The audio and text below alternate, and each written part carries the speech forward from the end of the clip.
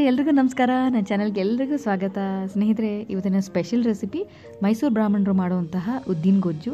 ಅಜ್ಜಿ ಮಾಡ್ತಾಯಿದ್ರು ತುಂಬ ವರ್ಷದ ನಂತರ ಇವತ್ತು ನಾನು ಮಾಡ್ತಾ ಇದ್ದೀನಿ. ತುಂಬ ಸುಲಭವಾಗಿ ಮಾಡ್ಬೋದು. ಮಾಡೋ ವಿಧಾನ ಹೇಗೆ ಅಂತ ನೋಡ್ಕೊಂಬರೋಣ, ಬನ್ನಿ. ಸ್ನೇಹಿತರೆ, ಮೊದಲಿಗೆ ಪ್ಯಾನ್ ಬಿಸಿ ಆಗಿದೆ ಇಲ್ಲಿ ನಾಲ್ಕು ಸ್ಪೂನಷ್ಟು ಉದ್ದಿನ ಬೇಳೆನ ಹಾಕೊಳ್ತಾ ಇದ್ದೀನಿ. ಸೊ ಮೀಡಿಯಮ್ ಫ್ಲೇಮಲ್ಲಿ ಒಂದು ಹದಿನೈದರಿಂದ ಇಪ್ಪತ್ತು ಸೆಕೆಂಡು ಚೆನ್ನಾಗಿ ರೋಸ್ಟ್ ಮಾಡ್ಕೊಳ್ಬೇಕಾಗತ್ತೆ. ಕಲರ್ ಚೇಂಜ್ ಆಗಬೇಕು. ಹಾಗೆ ಉದ್ದಿನಬೇಳೆ ಹುರಿಬೇಕಾದ್ರೆ ಒಂದು ಒಳ್ಳೆ ಸುವಾಸನೆ ಬರುತ್ತೆ. ಸೊ ಅರೋಮ ಬರೋ ತನಕ ಚೆನ್ನಾಗಿ ನೀವು ಹುರ್ಕೊಳ್ಬೇಕಾಗತ್ತೆ. ಬೇಗ ಬೇಗ ಆಗೋಗ್ಲಿ ಅಂತ ಹೈ ಫ್ಲೇಮಲ್ಲಿ ದಯವಿಟ್ಟು ಉದ್ದಿನಬೇಳೆನ ರೋಸ್ಟ್ ಮಾಡ್ಕೊಳ್ಬೇಡಿ. ಬೇಗ ಸೀದೋಗುತ್ತೆ. ಆಮೇಲೆ ಗೊಜ್ಜು ಒಂಥರ ತುಂಬಾ ವಾಸನೆ ಬರುತ್ತೆ. ಸೊ ಈ ರೋಸ್ಟ್ ಆಗಿರೋ ಬೇಳೆನ ನಾವು ಉದ್ದಿನ ಹಿಟ್ ಮಾಡ್ಕೊಳ್ಬೇಕಾಗತ್ತೆ. ಸೊ ಒಂದೊಂದು ಬೇಳೆನೂ ಕ್ರಿಸ್ಪಾಗಿ ಚೆನ್ನಾಗಿ ಫ್ರೈ ಆಗಬೇಕು. ಸೊ ಒಂದು ಹತ್ತು ಸೆಕೆಂಡಿಂದ ಚೆನ್ನಾಗಿ ಫ್ರೈ ಮಾಡ್ತಾ ಇದ್ದೀನಿ. ಇನ್ನೂ ಒಂದು ಹತ್ತು ಸೆಕೆಂಡ್ ಚೆನ್ನಾಗಿ ಫ್ರೈ ಮಾಡ್ಕೊಳ್ಳೋಣ.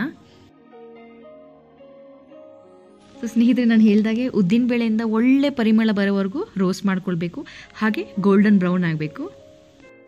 ಸೊ ಇವಾಗ ಹಸಿ ವಾಸನೆ ಎಲ್ಲ ಹೋಗಿದೆ. ಕಲರ್ ಸಹ ಚೇಂಜ್ ಆಗ್ತಾ ಇದೆ. ಇವಾಗ ಇದನ್ನು ಮಿಕ್ಸಿ ಜಾರ್ಗೆ ಹಾಕ್ಕೊಂಡು ಫೈನ್ ಪೌಡರ್ ಮಾಡ್ಕೊಳ್ಬೇಕಾಗತ್ತೆ. ಬನ್ನಿ ಇವಾಗ ಪೌಡರ್ ಮಾಡ್ಕೊಳ್ಳೋಣ.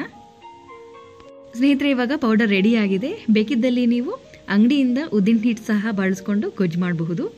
ಆದರೆ ಆ ಹಿಟ್ಟನ್ನ ಒಂದು ಐದು ನಿಮಿಷ ಚೆನ್ನಾಗಿ ಡ್ರೈ ರೋಸ್ಟ್ ಮಾಡ್ಕೊಳ್ಬೇಕಾಗತ್ತೆ ಬಾಣಲೆಯಲ್ಲಿ ಇವಾಗ ಬನ್ನಿ ಗೊಜ್ಜು ಮಾಡ್ಕೊಳ್ಳೋಣ. ಈಗ ಪ್ಯಾನ್ ಬಿಸಿಯಾಗಿದೆ. ಪ್ಯಾನ್ಗೆ ಇವಾಗ ನಾನು ಎರಡು ಸ್ಪೂನಷ್ಟು ಎಣ್ಣೆನ ಹಾಕ್ಕೊಳ್ತಾ ಇದ್ದೀನಿ. ಇವಾಗ ಸ್ವಲ್ಪ ಸಾಸಿವೆ. ಸಾಸಿವೆ ಚಟಪಟ ಅನ್ನಬೇಕು ನಂತರ ಕೆಂಪು ಮೆಣಸಿನ್ಕಾಯಿ ಹಾಕ್ಕೊಂಡಿದ್ದೀನಿ ಈಗ ಒಂದೆರಡು ಹಸಿಮೆಣಸಿನ್ಕಾಯಿ ಸಹ ಸೇರಿಸ್ಕೊತಾ ಇದ್ದೀನಿ. ಸ್ವಲ್ಪ ಶುಂಠಿ. ಸೊ ಎಲ್ಲ ಚೆನ್ನಾಗಿ ಫ್ರೈ ಆಗಬೇಕು. ಈಗ ಸ್ವಲ್ಪ ಕರ್ಬೇವಿನ ಸೊಪ್ಪು ಹಾಕ್ತಾ ಇದ್ದೀನಿ. ನಂತರ ಕೊತ್ತಂಬರಿ ಸೊಪ್ಪನ್ನು ಸೇರಿಸ್ಕೊಳ್ತಾ ಇದ್ದೀನಿ. ಸೊ ಒಗ್ಗರಣೆ ಚೆನ್ನಾಗಿ ಫ್ರೈ ಆದ ನಂತರ ಸ್ಟವ್ ಸ್ವಿಚ್ ಆನ್ ಮಾಡಿಕೊಂಡು ಇದು ಸ್ವಲ್ಪ ಕೂಲ್ ಆಗಕ್ಕೆ ಬಿಡ್ತೀನಿ. ನಂತರ ನಾವೇನು ಉದ್ದಿನ ಹಿಟ್ಟನ್ನ ರೆಡಿ ಮಾಡ್ಕೊಂಡಿದ್ವಲ್ಲ, ಅದನ್ನು ಒಂದು ನಾಲ್ಕು ಸ್ಪೂನಷ್ಟು ಉದ್ದಿನ ಹಿಟ್ಟನ್ನ ಸೇರಿಸ್ಕೊಳ್ತಾ ಇದ್ದೀನಿ ಒಗ್ಗರಣೆಗೆ. ನಂತರ ಇದಕ್ಕೆ ಒಂದು ಅರ್ಧ ಕಪ್ಪಷ್ಟು ಮೊಸರು ಸೇರಿಸ್ಕೊಳ್ತಾ ಇದ್ದೀನಿ. ಮೊಸರು ಇಷ್ಟಪಡೋರು ಜಾಸ್ತಿನೇ ಸೇರಿಸ್ಕೊಬೋದು ಕೊನೆಯದಾಗಿ ರುಚಿಗೆ ತಕ್ಕಷ್ಟು ಉಪ್ಪನ್ನು ಸೇರಿಸ್ಕೊಂಡು ಒಂದು ಒಳ್ಳೆ ಮಿಕ್ಸ್ ಕೊಡಬೇಕಾಗತ್ತೆ. ತೆಳುವಾಗಿ ಗೊಜ್ಜಿರಬೇಕಂದ್ರೆ ಸ್ವಲ್ಪ ನೀರು ಸೇರಿಸ್ಕೊಬೋದು ಗಟ್ಟಿ ಮೊಸರು ಸೇರಿಸ್ಕೊಂಡೆ ಗಟ್ಟಿ ಗೊಜ್ಜಾಗುತ್ತೆ. ಚೆನ್ನಾಗಿ ಮಿಕ್ಸ್ ಮಾಡಿದ್ರೆ ಗೊಜ್ಜು ರೆಡಿ ಆಗುತ್ತೆ. ಸ್ನೇಹಿತರು ನೋಡಿದ್ರೆ ಎಷ್ಟು ಸುಲಭವಾಗಿ ಗೊಜ್ಜು ಮಾಡ್ಬೋದು ಅಂತ. ಇವಾಗ ಬನ್ನಿ, ಇವಾಗ ಗೊಜ್ಜು ರೆಡಿ ಆಗಿದೆ. ಸರ್ವ್ ಮಾಡ್ಕೊಳ್ಳೋಣ.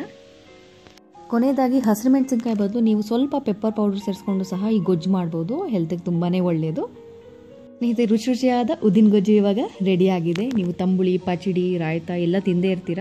ಒಂದ್ಸತಿ ರೆಸಿಪಿ ಟ್ರೈ ಮಾಡಿ ನಿಮ್ಗೆಲ್ರಿಗೂ ಇಷ್ಟ ಆಗುತ್ತೆ ಅಂತ ಹೇಳ್ತಾ. See soon video until then ಎಲ್ರಿಗೂ ನಮಸ್ಕಾರ. ಧನ್ಯವಾದಗಳು. And take care of yourself